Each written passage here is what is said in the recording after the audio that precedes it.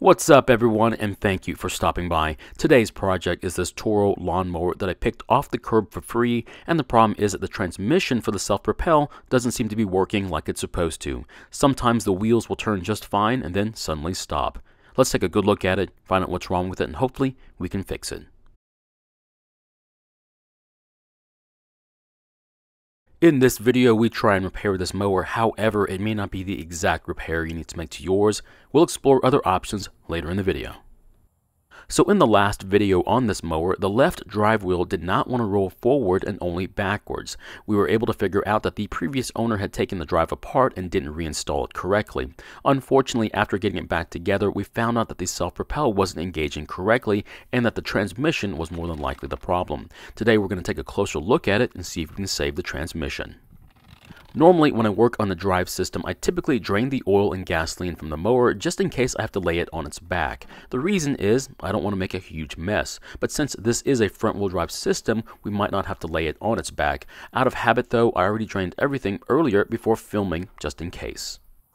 So the plan is to remove the transmission as it'll make filming a lot easier and if we have to work on it, it'll already be off the deck. The first thing is to take off the wheels followed by the retaining clips, washers, and drive gear. Now the first set is to hold on the drive and then after that the other set is to hold the transmission to the deck. Just be careful when doing this otherwise you're likely to lose any one of these pieces. Now when taking off the drive gear, take note as to which side faces outward. Otherwise you'll have the same problem as we experienced in the previous video. Now depending how often the drive drive has been lubricated, just be prepared to have grease all over these pieces. After we get done on this side, we'll do the same to the other side. Next, I'm going to point the deck upward, that way I can remove the two screws that hold the belt guard to the deck. After that, we can then take off the belt from the transmission pulley and then disconnect the self-propelled cable from the deck. This would also be a good time to replace the drive belt if you think it's worn out. The next thing we need to do is remove the pulley on the transmission, but we need to keep the shaft from spinning.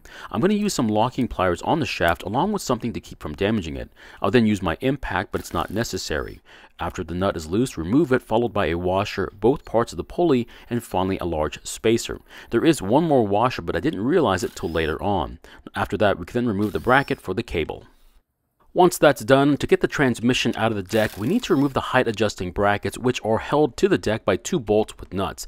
Now I thought I could get away with just taking off one side. Unfortunately, there's not enough room for the shaft that had the pulley on it to clear the deck, so that means we need to take off the other side as well.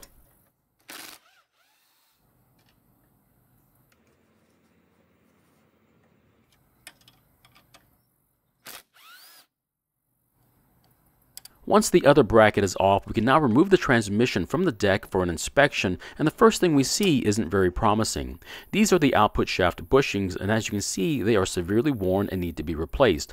If I bought these online after taxes, they would be around $20. We can also see that one of the keyway slots has become a lot wider than the other, but it'll still work. So I don't think we need to replace the shaft just yet. Next, I'm going to open the transmission and clean what I can so we can take it apart for a good inspection. Once I've cleaned the best I can, I'll then separate the shaft from the case. If you're wondering what I'm using to clean the transmission with, it's old stale gasoline I've kept from draining fuel tanks, mostly from generators. You can use brake clean if you want, but stale gasoline works extremely well on old grease. So here's the pinion gear, and as you can see, it's normally all black, but you can see the wear pattern on it by where the black coating is missing. Now this part also needs to be replaced, and it would cost around $13. Now the beveled gear looks to be in decent shape, however, if you take a good look at all the teeth, you can see that some of them are worn off at the top of the teeth. If we were going to replace this part, it'd be around $28. Now I could put a shim between the pinion gear and the top bearing and what this would do would be to move the pinion gear closer to the beveled gear to make up for some of that wear, but this really doesn't fix the problem, it's just a bandage. Would it work? Probably, but since the wear is this severe, I couldn't guarantee how well it would work or how long it would last. Don't forget how much play there is in the bushings as well. There's just so much play that the teeth might not be making good contact in certain positions. If we slide the bushings away from the gear, we find yet more bad news. Not only did the bushings wear away, but the shaft is worn as well. That means we need to replace the shaft, and it's about $68. That means if we wanted to replace every single part in the transmission, aside from the bearing, it would cost $129, which I hate to say is just too much money. I'd rather put that money towards a brand new mower instead. But instead of buying all the components separately, I decided to buy a brand new transmission instead, and the best part is, it was only $59 after taxes, which is a really good deal. Now I don't know how much money is too much money for a new transmission, but for this price, it seemed like a good way to get this mower working the way it was supposed to from the factory. Now I wish I could have just shimmed the pinion gear and only bought two new bushings, but I wanted to make sure this transmission lasted more than a few seasons. After checking that it is the same part I just took off, it's finally time to reinstall the new transmission in the deck. So why would I even bother dealing with the transmission? Now most people wouldn't bother and just use it as a push mower, especially since it's only front wheel drive versus a rear drive system, which offers a lot more traction. Now since this mower was designed to be a self-propel, I think it's worth more with a working drive. The other thing is that this mower as a whole is in great shape. The deck is not rusted through, the tires have plenty of tread on them, and even though the engine isn't a 10 out of 10, it's still got plenty of life left in it. So in my mind, for less than $60, I can get this free mower back to working order. Besides, I enjoy working on projects like this as it gives me a great sense of accomplishment when I get done with them. So I just ran into a problem. It looks like there are no threads in the holes on top of this transmission for this bracket. Now the original bolts are these triangular ones and they're designed to cut new threads. However, I don't want to risk it with used bolts. So instead, I'm going to find out what the original bolt's pitch is and then check it with the original transmission and finally get the right tap to put new threads in the holes. If you don't have a tap and die set, you can find them online for less than $30. You might be able to find a set cheaper at your local hardware store if you wait for a sale or use a coupon. My choice would be to borrow a set from a friend who has lots of tools. Don't worry, I'm sure they'll have more than one set and they'll let you borrow the cheap set.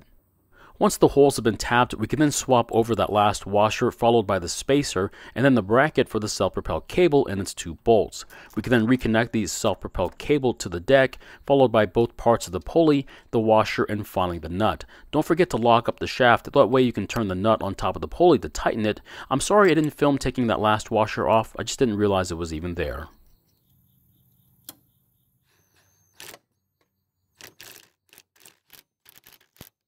Once the bolt is tight, try and move either of the plates for the pulley and make sure that they're not loose. After that, I'm going to check and make sure that the pulley is spinning the shaft like it's supposed to, which it is. We can now finally start putting all the washers and retaining clips back on the ends of the shaft along with the drive gears. Now, there's supposed to be a wheel cover that's installed after the retaining clip, but it was never on the mower to begin with, so I think the previous owner took them off and forgot to reinstall them. I think they had them off so they could see if the gears were making good contact with the teeth on the wheels. They are kind of necessary because they prevent sticks and debris from getting between the gears. I think I have a set of these lying around, but I won't worry about it right now. I will try to get them on before the next mowing season, though. I've also been informed in the comments that I can grease the keyway using the hole at the end of the shaft. I just have to use a grease gun for a chainsaw. Now this will keep me from having to take everything apart to grease the keyway. After the final retaining clip has been installed, I can now replace the wheel and then do the same thing for the other side. Since I've already shown you how to do it on this side, I'm not going to show the process twice. Once the wheel is back on, it should spin in the forward direction and you should be able to hear the clicking noises from the key.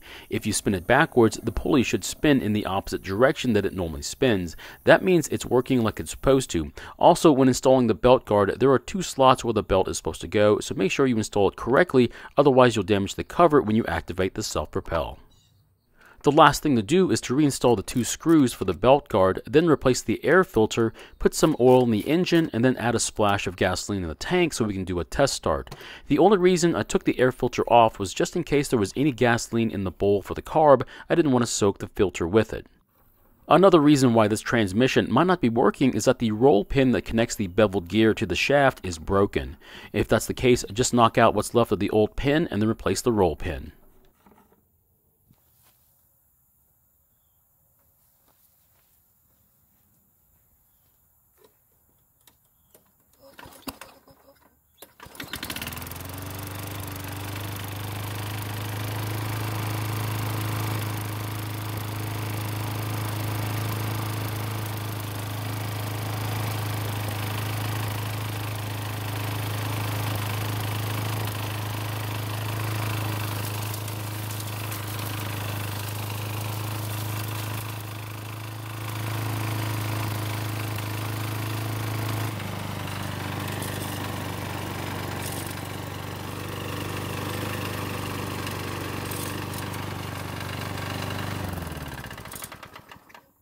So the engine was smoking a little bit at the beginning, and that usually happens when I take mowers off the table. Some of the oil will make its way past the rings and into the combustion chamber to be burnt off when it first starts. Otherwise, the transmission seems to be working very well, as to be expected with it being brand new. There's only a few small things I need to address, like the bowl gasket for the carb, and of course, replacing the wheel covers, but all in all, it seems to be starting, mowing, and driving like it's supposed to. So my question is, would you have replaced the transmission or just left it as a free mower without a working self-propel? Personally, for me, as long as I can get it working for a decent price, I'll try and fix it. However, if the transmission had been over $100, I doubt I would have replaced it, and instead waited for a parts mower to take its transmission instead. Thank you for watching. I really do appreciate your time here. Please feel free to ask me any questions, and I hope to see you in the next video.